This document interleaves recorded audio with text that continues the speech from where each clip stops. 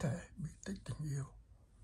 Khi còn tại thế, Chúa Giêsu ở với các môn đệ, ở với dân Do Thái, Chúa đi đâu cũng rao giảng về tình yêu. Đạo Chúa là đạo yêu thương. Chúa nói, người ta cứ giống này mà biết chúng con là môn đệ thầy là các con đã yêu thương nhau. Thánh Gioan cho đến lúc chết, các môn đệ khiêng ông ra. Ông giảng, ông nói các con hãy yêu thương nhau như Chúa Giêsu đã yêu thương thầy, yêu thương chúng con.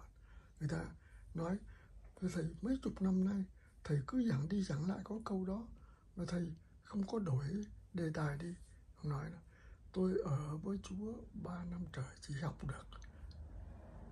Cái nhân đức yêu người, yêu thương nhau thôi.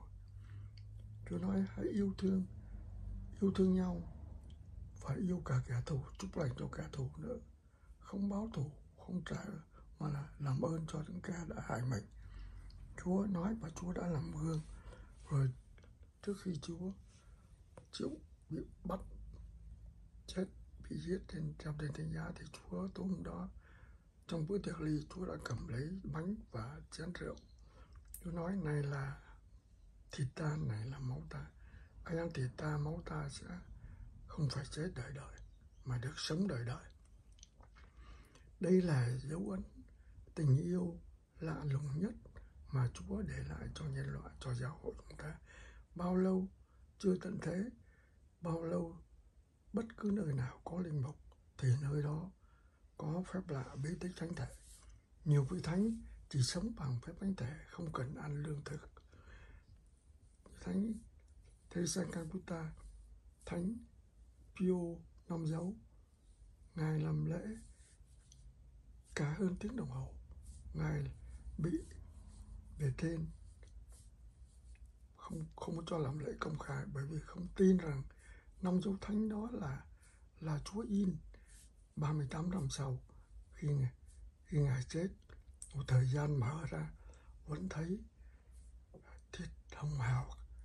Nhưng lúc còn sống nhưng năm dấu thánh biến mất thì bây giờ giáo hội bây giờ nhà giảng mới giải oan cho người và ngày nay ngài đã được phong thánh.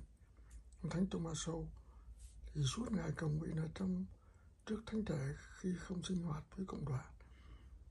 Ngài soạn những bài hát về thánh thánh thể, rất xuất sắc ngày nay giáo hội vẫn còn hát. Và một hôm Chúa Giêsu trong phép thánh thể nói, Thomas, con đã viết về thầy rất đúng về phép thánh thể.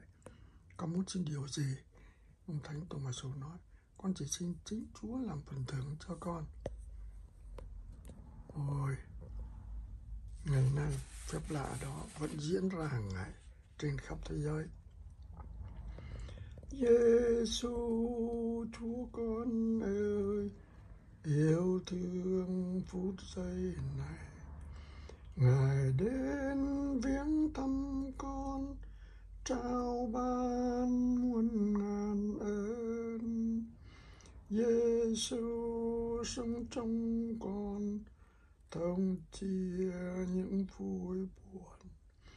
Tình yêu chúa cho con, mênh mông như mưa nguồn.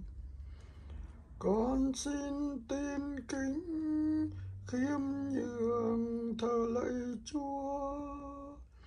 Cho con say mến, cảm tạ tình yêu chúa qua bao năm tháng, tâm tình chúa cao vời, cho con yêu chúa, yêu người.